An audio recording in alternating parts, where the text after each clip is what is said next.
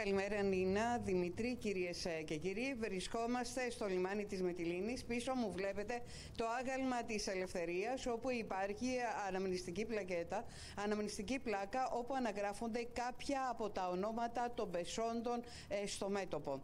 Ε, σήμερα λοιπόν αυτή την ώρα τελείται η δοξολογία στον Μητροπολιτικό Ναό και στη συνέχεια οι εκπρόσωποι των πολιτικών στρατιωτικών αρχών και των σωμάτων ασφαλείας θα καταθέσουν στεφάνι στο άγαλμα της ελευθερίας πίσω μου. Την κυβέρνηση εκπροσωπεί ο κύριος Δημήτρης Ιατρίδης. Είναι γενικός γραμματέας υποδοχής ετούντων άσυλο.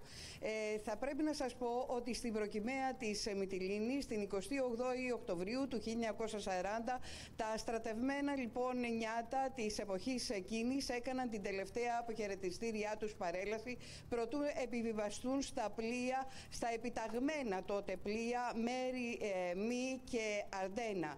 Ε, ήταν συγκινητικές οι στιγμές καθώς ε, φίλοι, συγγενείς, γονείς, ε, παιδιά τους αποχαιρετούσαν με την ευχή της νίκης αλλά και την επάνωδο στην πατρίδα. Mm συγκινητικές επίσης ήταν οι στιγμές του αποχωρισμού των, ε, των ανθρώπων που είχαν άλογα, μουλάρια, τα οποία και εκείνα ε, πήγαιναν στο μέτωπο για να βοηθήσουν τον αγώνα.